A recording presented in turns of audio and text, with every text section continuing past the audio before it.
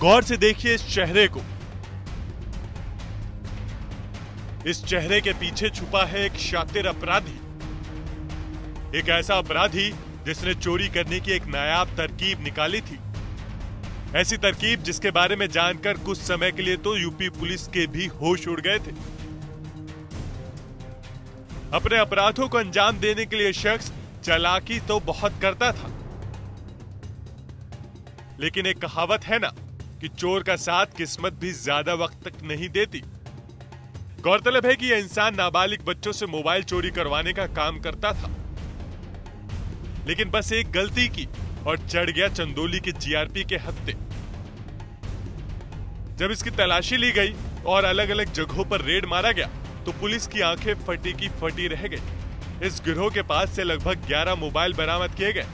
आरोपी ने पुलिस को बताया कि चंदेली और आसपास के इलाके से चुराए हुए फ़ोन वो और उसके साथी मिलकर पश्चिम बंगाल के मालदा में ठिकाना लगाया करते थे। पुलिस को शक है कि इस गिरोह का नेटवर्क पश्चिम बंगाल से लेकर बांग्लादेश तक फैला हुआ है। दरअसल ये शातिर अपराधी उस वक्त पुलिस के हाथ लग गया, जब जीआरपी की टीम चेकिंग अभियान चला रही थी। देर रात तकरीबन दो बजे प्लेटफॉर्म संख्या एक के पास, बुक स्टॉल के पास एक संदिग्ध खड़ा था। पुलिस को देखते ही वो वहाँ से चंपत होने की तैयारी ही कर रहा था कि पुलिस ने इसे धर दबोचा। कड़ी पूछताछ में आरोपी ने कबूल किया है कि ये और इसके गिरोह के लोग बच्चे से भीड़ भाड़ वाले स्थानों से मोबाइल की चोरी करवाते हैं। इसके लिए पूरी योजना तैयार रहती है। बच्चा पकड़ा गया तो तुरंत कोई महिला अभिभावक बनकर पहुँच जाती थी। और बच्चे को डांट फटकार कर माफ़ी मांग लेती थी। इस काम के लिए रेलवे स्टेशन और बस स्टैंड और बाज़ार जैसी जगहों पर ये लोग काफ़ी सक्रिय रहते हैं। क्या है मामला? ये एक व्यक्ति अरेस्ट हुआ है जिसके पास से तिरपन एंड्रॉयड फ़ोन बरामद हुए हैं।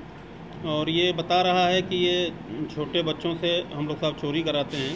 विभिन्न जनपदों में आजमगढ़ जौनपुर बनारस और यहाँ से ले आकर के कालिया चक जगह है मालदा।